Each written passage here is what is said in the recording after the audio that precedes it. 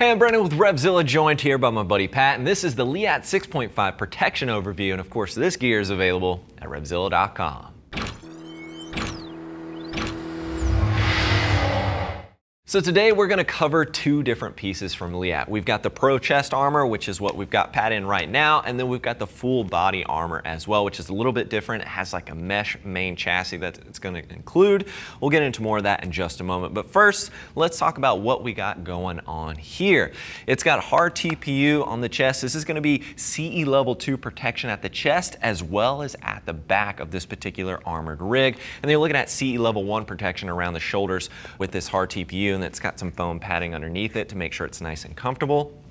I like from the previous generation, you might be familiar with the 5.5, they made some nice key updates, which I want to talk about real fast towards the shoulder. This is one of the biggest things that Pat and I both noticed here was the adjustability at the shoulder. Now it used to be on kind of this rail system for the shoulder plate so you can maneuver how you want it to be positioned. However, it would slide down throughout the ride so Pat even was utilizing zip ties to help keep that in place. And now that it's on Velcro, it still gives you a lot of adjustability. However, it's not going to slide down on you throughout your ride. And you'll see right here towards the top of that shoulder, it still articulates very, very well. And you can pop the shoulder plates out if you wish to do so. So a lot of MX riders out there I know don't typically utilize the shoulder plate, so easy to take those off if you don't want that coverage. The plate here at the chest, this is another nice thing, a nice update from the previous gen. This is removable, so you can take this right out of there, and that's gonna allow the neck brace to actually sit flush and sit more comfortably against the body and just make it a little bit more secure because now you don't have these big pieces of plastic. Now, it used to slot in, and that was kind of nice too, but I think this is an overall better design, and it's gonna allow people to utilize a little bit more options when it comes to neck braces. And that is removable on the front as well as the back to accommodate that neck brace, and it's removed via an Allen key. Highly breathable, very, very comfortable. I'm really excited about this armor. Pat, go ahead and face that direction for me, sir. We can uh, strike that right. You know what, he's been here a few thousand times, right? So on the arm, you've got some adjustability via Velcro. One thing I wanted to mention on the sides is that this is adjustable as well. Same thing with the 5.5, of course, but you've got more adjustability. This strap actually comes out of the side here, and you can actually pull this in further. On the previous design, you could only adjust it so much, and now you've got this full range. So you can cinch it in. And this is actually a really good update for Pat because he's got a larger chest. The guy does some serious B press. And then his waistline, you know, he needs it a little bit snugger around the waist and to pull that in. And now you can easily do that. And of course, you've still got that coverage around the ribs. Pat, go ahead and face the back for me, sir. And this blade, as I mentioned before, just slots right out of here so you can accommodate the neck brace, CE level 2 protection at the back, and then we've got a slight bend as we move towards the rear, and that's just going to uh, align better with the spine, and it's going to be more comfortable when you're in that more aggressive riding position. Pat, go ahead and face the front for me, sir. Now we're about to take a closer look at the full body armor, but before we do, keep in mind this gear will ship to you for free, and as always, we do have a price match policy in place that is there to ensure you're getting the best deal around. And the last note I wanted to make was about the fit. We've got Pat here, six feet tall, 220 pounds with a 44 inch chest. He is currently wearing a size large XL in this particular Pro Chest armor. Now on the full body armor, he is wearing a large. This is gear that I would recommend sticking with your typical t-shirt size. I've used a lot of different brands. I always stick with my typical t-shirt size and everything fits me accordingly. So without further ado, let's check out that full body armor. All right, so we've got Pat here in the full body armor. This is gonna increase the price a little bit. So the previous, the Pro Chest, you're looking at $290. With this one, you're looking at 350 bucks, but you're getting a little bit more. As you can see, he's got this stretchy mesh base layer, as I would refer to it as. It's very comfortable, but it's got an adjustable kidney belt. And then you can see you've got armor at the shoulder as well as the elbow and a little bit of this foam protection here at the bicep. That's gonna help out with some branches and things like that. So that's really the main difference between between the two. And obviously you don't have that articulating shoulder towards the top that you do with the Pro Chest because it's integrated to this base layer that you see now. And this is something obviously you throw that on, throw on the chest armor and then your jersey on top and you're good to go.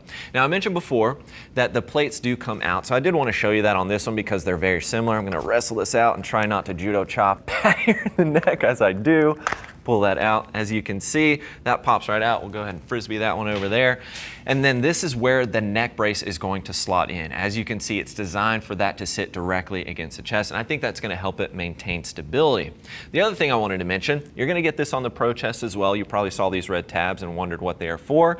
This is for the neck brace itself. This little strap goes over a slot on the neck brace, and that just helps keep it more secure around the shoulders. When you're moving on the trails, obviously you're bouncing up and down off of the bike, and that's just gonna help with the overall stability. Very straightforward on the kidney belt via Velcro, easy to adjust, and it feels very comfortable and it serves as an extra brace for your back, of course. That is very nice to have. Trust me, it does make a difference, especially as we start getting older and older. Pat, go ahead and face the back for me real quick, sir. This plate slots out as well, and you do have some adjustability at the back with the kidney belt. While you can't see it here, there is a little bit of Velcro towards the back as well, so you can adjust the height just a little bit via that Velcro. CE level 2 protection at the back, and of course, this plate comes right out, and just to show you the back, that's where that is gonna set. Obviously, we've got a large tag there, but that's where that neck brace is gonna slot in and sit. Pat, go ahead and face the front. CE level 2 protection at the chest, and CE level 1 armor when you're talking about the shoulders as well as the elbows. Now working our way down here, I mentioned before, uh, you know, you've got this foam padding here to help with branches. You can see the red armor slightly underneath that. So that's gonna be hard TPU and then that CE level one armor underneath there. One thing I would love to see, we're seeing it now on their uh, knee guards as well as their elbow guards, their standalone knee guards and elbow guards. They have this sublimated graphic that's an X and what it helps do is actually maintains the, the stability that this has or the firmness in this area because over time stretchy materials tend to stretch out and get overly stretchy and this will become loose over time. So I would have loved to see a little bit of that sublimated X graphic that we're seeing on their knee guards and uh, their elbow guards incorporated into this. But overall, you can go ahead and put that down, Pat. Thank you, sir. Overall, I think it's going to be something that's going to be highly breathable. You're getting a ton of protection. This is going to be amazing for those trail riders out there. I really like the 5.5. I like the updates that they've made with the 6.5. And again, it is very comfortable. And for those of you out there, one last thing I wanted to mention before we get out of here is just underneath this chest, if you're looking for more airflow, there is a, a piece of material, it's like a foam material that you can actually remove on the Pro chest as well as the full body. It's underneath there. You can remove that and that's just gonna help increase the airflow moving through the body. But again, I like the updates that they've made to the 6.5 in comparison to the 5.5. The 5.5 was already so good and they've just made it better with the 6.5 version. But of course, if you have any additional questions, you can always click that info button. That's gonna take you over to RevZilla.com where you can read other rider reviews.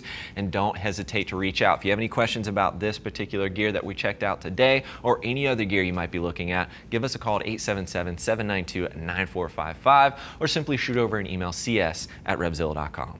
Thanks for hanging out with Pat and I and taking a closer look at the Leatt 6.5 protection overview. I'm Brandon. Keep it pinned.